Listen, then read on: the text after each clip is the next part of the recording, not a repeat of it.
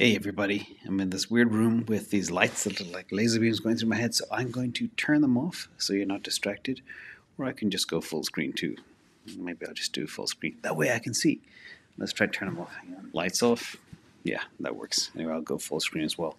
So, big thank you to everybody for being here. Let's just jump in. A lot of news to cover today, and uh, let's see what we have going on. This show today is going to be called the number one crucial chart, and I'll explain why it is so important.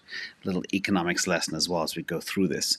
So let's jump in as we always do. And of course, this is entertainment, not financial advice. The story today really is about the most important chart, plus a ton of other news. But let's get straight to the heart of it first and not waste any time. So, um, I've done a lot of work with Metcalfe's Law, and if you guys want me to do some Metcalfe's Law tomorrow around Ethereum and Solana, let me know. But this is probably the most important Bitcoin chart. We are talking about Bitcoin today. But if you want me to look at some numbers for daily active users, etc., and the impact on price, let me know. Um, and basically, I have proven that 83 to 84% of Bitcoin and Ethereum price is explained by the number of daily active users, the addresses, the network effect. But if you look at this chart here, this one chart makes it very clear what will happen to the price of Bitcoin in the long run. Not hopium, just mathematics. And the amount of Bitcoin that is up for grabs, that amount on exchange balances and future supply from mining, is really thin and it's heading to zero. In fact, Jamie Coutts from Bloomberg agrees with me too. He has also done a lot of work on Metcalfe's law. Now, the number of on chain entries is going up forever as long as the Bitcoin protocol survives. And we all know that from Economics 101, as demand increases and supply goes down, price goes up. It is the most basic les- lesson of economics. Now, the green line here is the balance on exchanges and future supply compared to the up purple line, which is the total entities everything is going perfectly, swimmingly. Everything is going in the right direction as we go forward. So I just want to share that most important chart. But let's talk about Bitcoin versus other main asset classes. So far, year to date, just since January 1st, 2023, Bitcoin's up 45%. Of course, that fluctuates from minute to minute because it's volatile. But the narrative is changing from speculation and gambling to really saving and long-term investment. And this chart should get people's attention. If you look at the performance of Bitcoin, as I mentioned, up 45% year to date, S&P 500 up 6.44%, Nasdaq up 12%, Dow up 15%, and gold 5%. Uh, it's it was depending on the day, the gold can be flat, but here, this is a very meaningful divergence between Bitcoin and equities and other asset classes for the first time in well over a year. And the FTX collapse back in early November was the only other decoupling event, but that was very short lived and we've way more than rebounded since then. So, all good, as they say in Bitcoin land. Now, let's talk about another piece of Bitcoin news. Uh, there's a lot of stuff spread about, you know, fiat is beating Bitcoin. This was an interesting one. We have our friend Augustin Carstens, who is really very excited about a central bank digital currency. But there was a beautiful letter written by a wonderful author. I shared it on Patreon earlier today. I just thought it was worthwhile, really, to explain what Bitcoin is and what fiat is and why. Fiat, no, Augustine, it did not win Bitcoin will win for many, many reasons. But uh, Augustine is from the Bank of International Settlements, BIS, and uh, they have one central aspiration, and that is a central bank digital control money, a full integration of governmental domination, enforcement, surveillance, control, all rolled into one new digital fiat currency with a heavy dollop of degrading inflation on top. Same stuff I've been talking about for two years.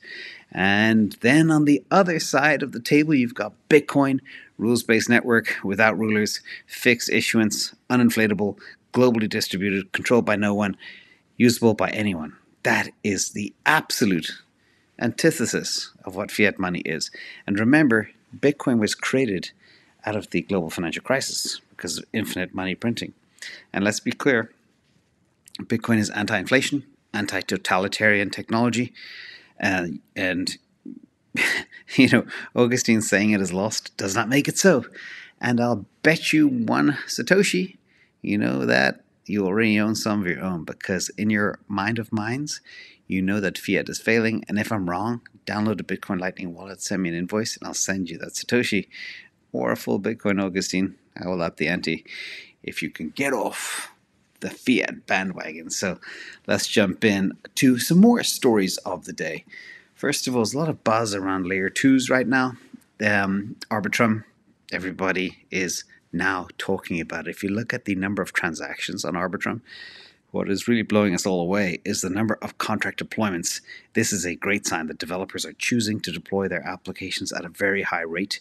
And the current week is still in progress. But if you look at the blue, which is Arbitrum, that is the amount per week, and Optimism is in red. You see, Optimism is dwindling away. We'll talk about that in a minute. And the overarching total aggregate amounts on Arbitrum are going through the roof. So all in all, it looks like the layer two that is really gaining a lot of traction is, of course, Arbitrum. Uh, let's talk about optimism for a second, though. Coinbase is building a base on a layer two, a decentralized layer two, which is very exciting. They call it base. Coinbase base makes sense. And this is huge news. This is a public US company is running a trust minimized execution environment for customer assets.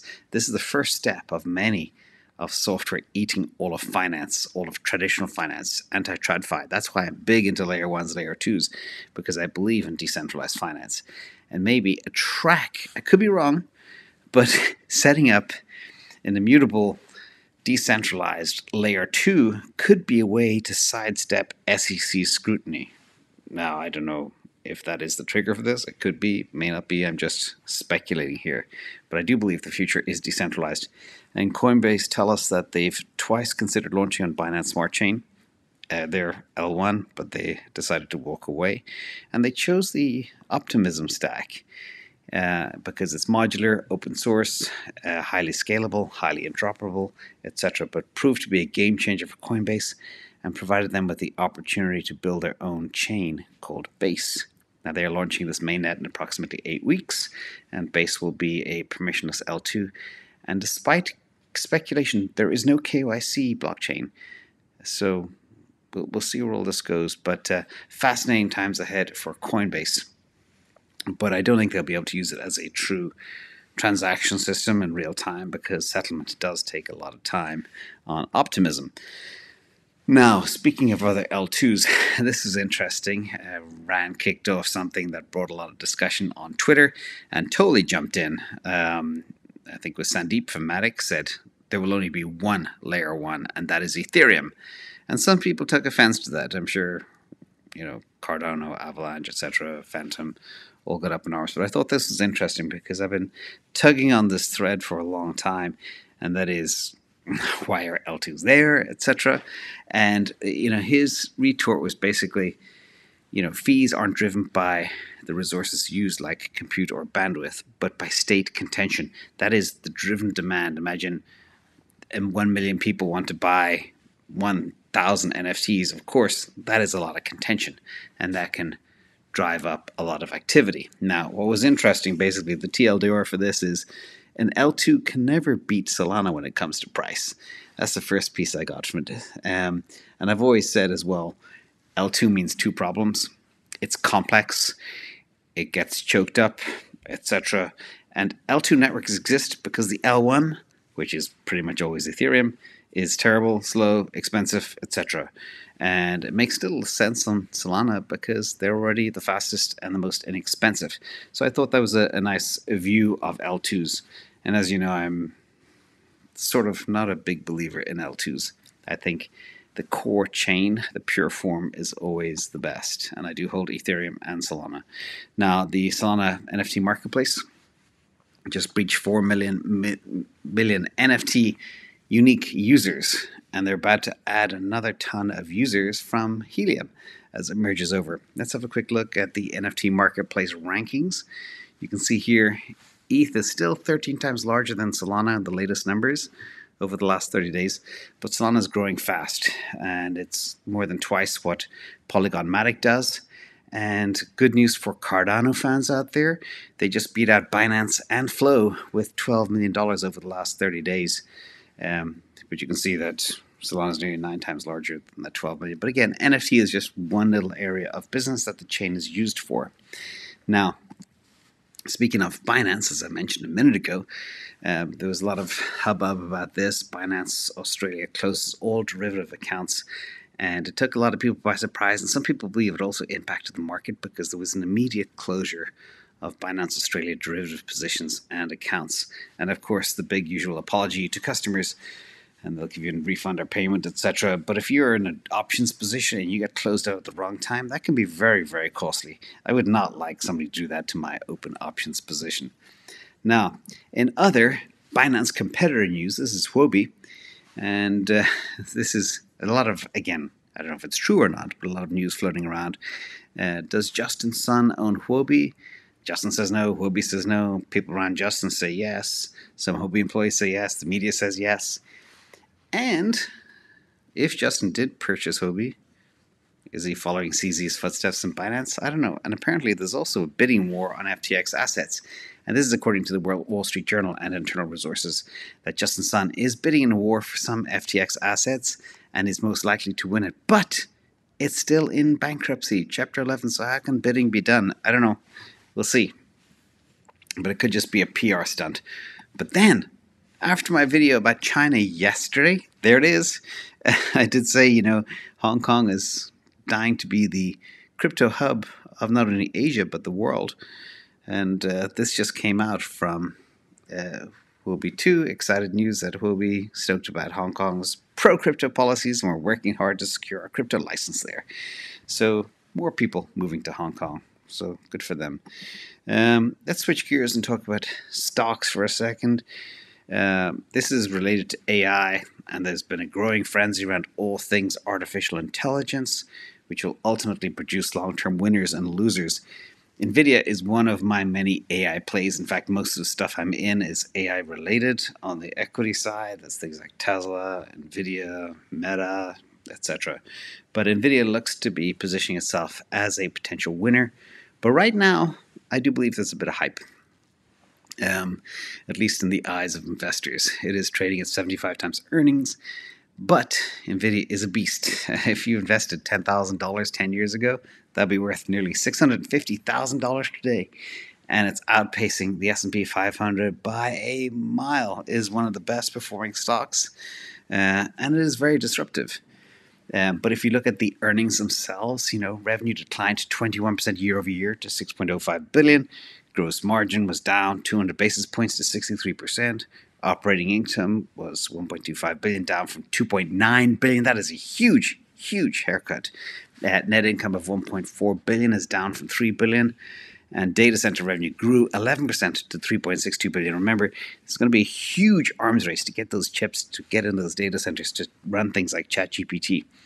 And gaming revenue declined 46%. So when you look at all of that stuff, that is a really, really, really big, big headache. So, um, but why do I like NVIDIA? Well, I believe in AI, and I believe they have the strongest moat. I did a video back in 2022 comparing. Uh, somebody asked me in the Q and A to compare NVIDIA to AMD, and my money, obviously, is put my money where my mouth is. Was on NVIDIA, but if you look at the moats here in this brilliant little chart of AMD versus NVIDIA, just a refresher, you will see a whole bunch of cool information. Free cash flow margin, NVIDIA wins. Value, you could argue, AMD is a much higher value. Dividend yield, AMD don't pay dividend. NVIDIA do, albeit very small. Return on investment capital, nobody beats them except for Tesla. Altman Z-score, way stronger financials and balance sheet.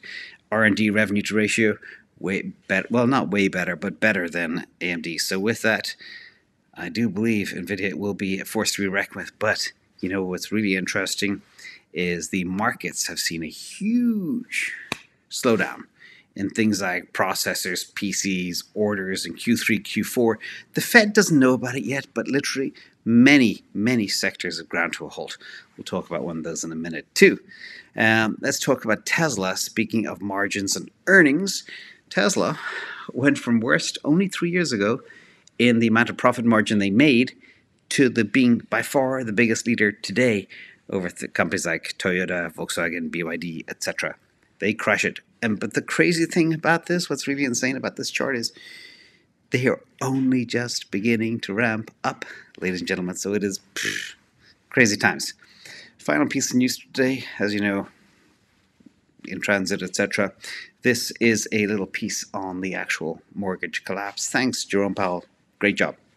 Mortgage applications to buy a house collapsed to an index level of about 147. That's the lowest level of buyer demand in 30 years, ladies and gentlemen. Way worse than the 2008 global financial crisis and is down 41% from last year. And this from the Mortgage Bankers Association. And the Fed are still turning the screws. If anybody wants me to do a global real estate update, drop a comment below. And remember, drop a comment below if you want me to do some Metcalfe's law calculations on the impact of daily active users across Solana and Ethereum and comparison market values to things like Apple, gold, etc. I will run the numbers for you all, but let me know in the comment below. Trying to get out of the shadow band still. Thank you so much for being here. Uh, I'll be back at base real soon, everybody.